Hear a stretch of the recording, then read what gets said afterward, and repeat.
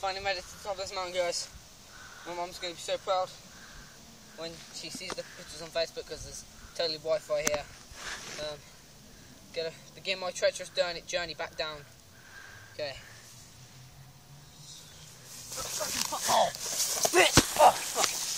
That was the first one. I could have very nearly died there.